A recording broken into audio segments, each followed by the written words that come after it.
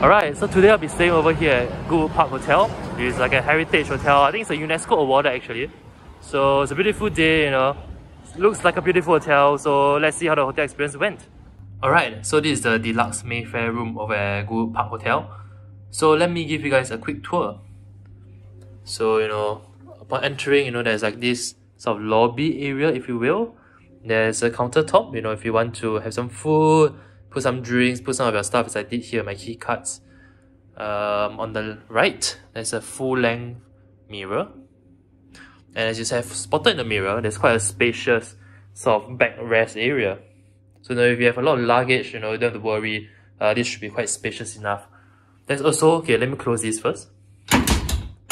There's also, as you guys may have seen, sort of like a auto sensor uh, wardrobe that lights up. Pretty cool. You get your standard iron, your complimentary slippers, and your bathrobe. And the torchlight as well I spy in the corner. I'll move on to the bathroom. The bathroom is nothing spectacular, I would say. It's a bit small, but it's everything you need. There's a scale to remind yourself of how fat you are. There's a toilet bowl, uh, but this is a traditional kind, you know, not the kind of concealed system. There's no bidet as well, so you know, it's a conventional uh, toilet paper wipe for you onto the sort of marble sink. There's a lot of complimentary toiletries provided. Let me just see if I give you a quick pick. So there's body wash, shampoo, conditioner, and body lotion. Now your again your old-fashioned sort of two temperature, two knobs tap. And here you have a standing shower, but a bathtub as well. So the bathtub is quite small. I would say that you this is only realistically spacious enough for one. But considering that the deluxe Mayfair room is, you know, the entry level room for Goodwood Park, I'm quite surprised even the entry level room is a bathtub. Now move on to the main room itself. So here you have a business chair. I'm not quite sure what brand this is, but uh, it's not Herman Miller, that's for sure. You know, you have some amenities. You have your phone, your notepad, complimentary facial mask, hand sanitizer, and something I've not seen before actually, you know, there's actually a provided LAN cable. So, you know, if you're here and do some Zoom calls, you want to do some work, you know, this I think is a very good working desk since you even get LAN cables. Alternatively, if you're a gamer, you can game as well. I also see a HDMI port, although it seems to be reversed, and a VGA port, so I assume you'll be able to connect to the television. Alright, so moving on, here you have like a lot of cabinets. You have a very huge TV screen. There's a minibar at the bottom. So it's not a fridge, you don't store ice cream or what. Uh, it's a bit weird, but it's cool enough to store like your drinks, your wines, etc. Talking about drinks, here are the complimentary drinks. So you know, you have all the TWG, uh, Nespresso, make I show you. There's some like your Nescafe pots as well, a kettle, complimentary stirrers, complimentary cups. There's also some uh, smaller cups. I assume these are for like spirits, uh, wine glasses, and even a wine opener.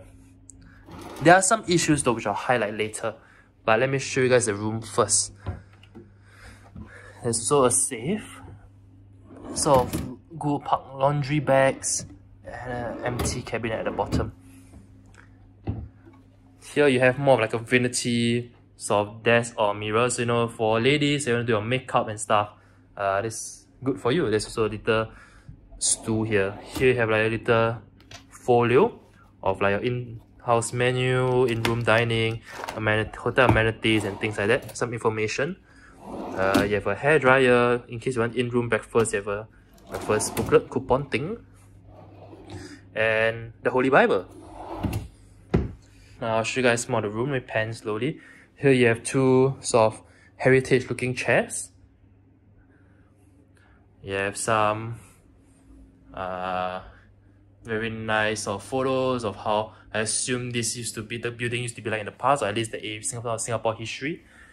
You have some of the channels that you're able to see here. So I like that they gave like a channel menu. So as compared to some other hotels, they keep flickering through the channel to see what's there. Here, you know, everything is uh, for your information, right? There's a nice bedside uh, notepad, again another phone, a Philips clock. And I'll show you guys the main highlight of the room, I guess, which is this king size bed. Now you have, as you guys might have spied, you have this very heritage looking sort of uh, headboard. There's also this heritage looking, you know, sort of, uh, what do I even call this? Like a wall mural, right? So provide a very nice and romantic backrest, I suppose. You feel really like you're in a colonial building, like as if this was the 1970s. Yeah. Again, another sort of uh, little photo here of, I guess, someone making chapati, prata, I don't know. Yeah, there's also another marble tabletop here. I'll show you guys the view. Here's the view. There's a balcony to for this room, which again a surprise given there's an entry level room. But it's nothing much, you know, really just like a little balcony. So I'm not sure if I should say this, but you know, for smokers that wants like a smoking room, a balcony, um, yeah, here's your balcony. I can smell some of the smoke already. Yeah, two sort of like lawn chairs, and here's the view. So this is the Orchard area, so you see some of the rich people Orchard condos here. And a little garden. Okay, the view is not much, but uh, I actually quite like it in the sense that you know, it's pretty private. There's no one here, you know, as compared to I've just came from the hotel lobby. So there was like crying children and things, crying babies. Here, you know, it's a bit more private. So yeah, this is, let me guys slowly pan. This is the room. Now, on first upon first impression, it's not bad. But I'm going to ask for a room change and here's why. Because there are some cleanliness lapses that shouldn't happen at a hotel this stature. First and foremost, I found some stains. I, I don't know you guys can see. I found some stains on the linen, which again shouldn't happen. Uh, was trying, you know, examining the chair, and I can see, like, I don't know if you guys can see, like, some crumbs stuck in between the seats and some, again, uh, some stains as well which again unacceptable. Um, I also noticed some again you see a lot of debris between the cracks. Okay, like, I guess this won't really affect your everyday stay, but it's just unsightly. But what broke the straw on the camel's back was really the cleanliness of sort of uh, some of the cups here.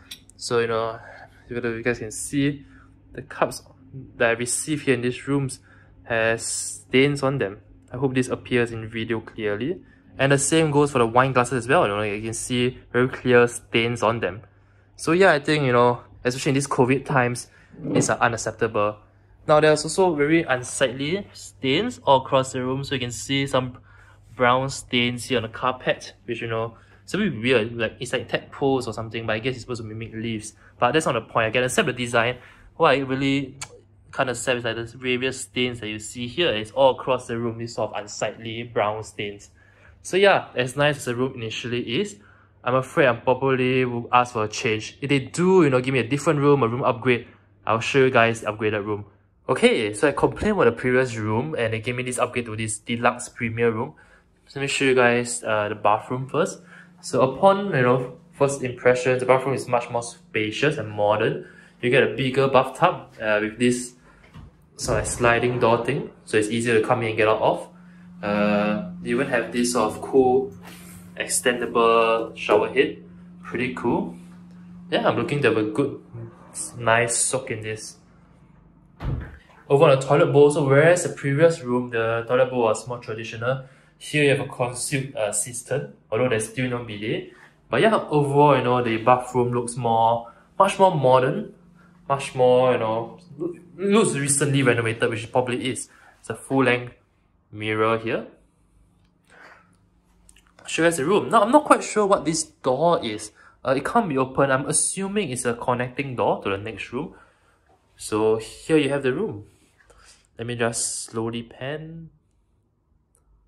Yeah, pretty nice, isn't it?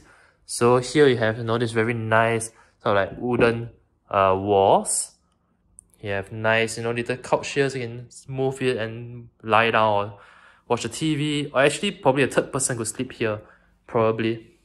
With a nice king size bed. This marble backrest. You have a nice little mirror here. Here you have a very well lit, very well designed sort of uh, cabinets and alcoves. The kettle. Now, whereas previous one I had to stoop down to open the thing, here it all opens up like this. You know, all the cups, all the uh, tea packets, you know, are all nicely laid out here. Again, although I'm quite, it's a bit of a disappointment to see instant coffee. I assume won't upgrade, they have an special machine, but looks like it doesn't. But what they did upgrade was sort of this uh, chiller, which as you guys can see is bigger and more spacious now. You can fit a bottle of wine with no problems. Uh, over here, the cabinet is also more modern. It's a sliding kind. You have, again, safe, ironing board, and bathrobes. Alright, so as you guys can see, right, I definitely like, like this room more. It's a bit more airy, a bit more spacious, a bit more modern, but still that sort of a little bit of the heritage touch because of the white marble and your dark carpentry. From my understanding, you know, this category of rooms are recently renovated with only the room that I was in, the deluxe Mayfair room, uh, not receiving and benefiting from the renovations. Which can be seen uh, here, everything looks very clean, very modern. The ground as well, the flooring is wooden, so you don't have those stains that we saw the previous times that really uh, dampen the experience. Yeah, very high ceilings, again with the ceiling fan as well. Overall, uh, I much prefer this room. I think, you know, if you're looking to book, Goodwood Park and this, and this room the deluxe premium, I believe they call it. It's just a small upgrade. Book this instead. The view is much better as well, even though there's no balcony. So let me show you guys the view. There you go. Very nice, and you see a swimming pool as well. Yeah, I'll probably get a dip in the pool later and show you guys. Alright, so this is the main swimming pool of uh, Goodwood Park Hotel. So this is the there's two pools here. This is the bigger main one. So it's surrounded by actually you know, your different uh, apartments. There's a restaurant at the side and there's a main coffee lounge in front. And of course, it's surrounded by, you know, very large greenery and lawn chairs. So it's pretty big, you know, definitely, I think almost enough for like a full lap. You know, in the afternoon, I saw people just chilling there, uh, reading some books there. You can see some watching a movie, I guess, in the room. So yeah, pretty crystal clear the water a pretty good view too, especially I think in this uh, sort of sunset uh, timing. Yeah, pretty nice. Overall, you know, I think the vibe is like a very sort of resort style-ish. It feels doesn't even feel like you're in Singapore to be honest. It feels I'm transported um, back to the 1990s, perhaps somewhere in America and in Europe. That's the general vibe that it has. Even has like a, a open shower, not open shower, but a place like a rinse off and a life buoy there. Alright, I'm, I'm gonna go in for a dip. I'll see you guys perhaps in the next pool. Ciao! Oh yeah, fun fact. So that's my room over there, as you can see on the second floor with the window, with the curtain open I mean. So yeah, you know, if you want to look at people frolicking in the pool, uh, my room has a pretty great view. Or you could just stay at the restaurant, I guess. Uh, actually, I might you what I say about the pool looking clean. So upon closer inspection, just as about to go in, you can see like some debris, some hair or leaves, I don't even know man. Just floating on top of the pool. So needless to say, you know, it's not uh, the most ideal, the most inviting. So yeah, fix this if you can. Goodwood Park. Uh, actually, it's worse than I thought. So I think I don't know if you guys can see. There's like some insects, dead insects just floating on the water. So yeah, it's terrible cleanliness. I'm afraid. Okay, because the main pool was so terrible in the, in the hygiene standard and cleanliness, I decided to swim here instead, which is the uh, smaller, more private Mayfair pool.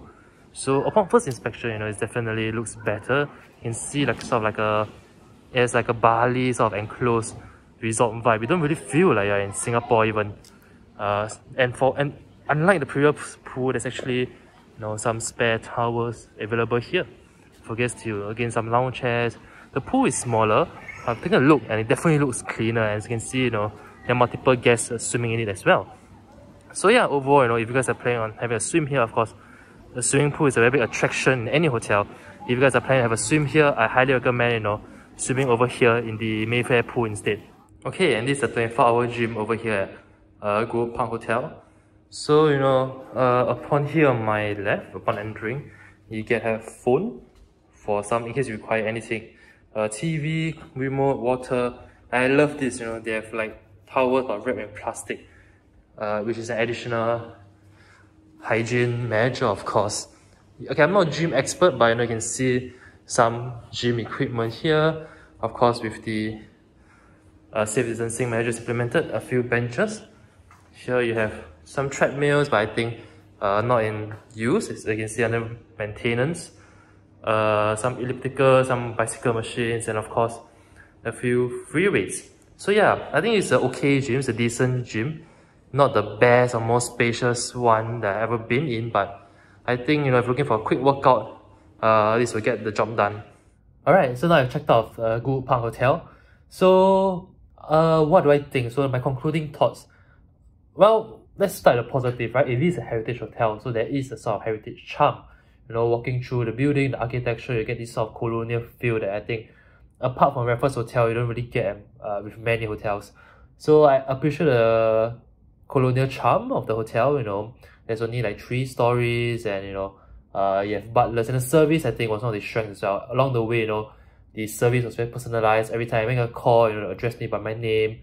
Um, the butler helped me carry my bag to the room. So I would say that, you know, the service is definitely one of the strengths of uh, Goodwood Park. That being said, you know, I think there are some shortcomings. Uh, definitely the cleanliness lapses were make up a bulk of them. I think some of the cleanliness lapses were unacceptable, right? Uh, in the room, you know, uh, some of the glasses still having stains, being plain dirty, the chair being plain dirty, having food residue, you know, and over the swimming pool, you know, having like dead insects floating on the surface of the pool. I think those are unacceptable for like a $200 five-star hotel. Uh, the room as well, you know, uh, if you read my review, watched the previous, previous, if you didn't skip through, you know, the previous uh, segments of the video, you have watched that, you know, I got upgraded to a deluxe premium room. The room was not bad, but I think when uh, newly renovated, but I think, you know, the bathroom has some issues as well. Uh, I think the, the shower was like oscillating between hot and cold, uh, on a whim, you know, made like weird draining noises throughout the entire night. And overall, also very a lack of privacy. The walls are very thin, doors not very soundproof. As I was walking through the corridor, I could hear you know the sound of like children giggling, and I could also hear the sound of like passionate child making, if you know what I mean. So there's a lack of privacy as well. So yeah, I would say um not the worst stay I had, but overall an underwhelming stay, I think definitely, especially for the price paid, especially for the expectations. Um, we see how it goes. I'll probably write like a formal feedback letter to, to them in the near future, and if they invite me back, I'll show you guys uh, an updated version of the of the of the hotel, like I did with the One Farrer Hotel. Alright, and that's all for this uh hotel staycation vlog. If you like this video, do give it a thumbs up, uh, do subscribe and do share around. As always, see you guys in my next video. Ciao!